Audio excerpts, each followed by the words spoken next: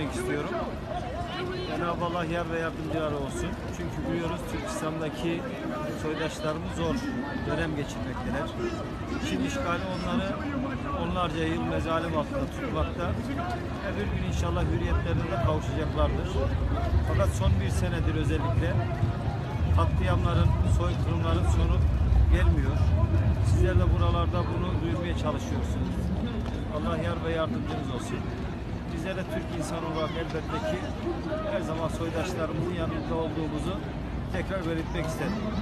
Çalış, çalışmalarınızda başarılar diler, saygılarımı sunarım.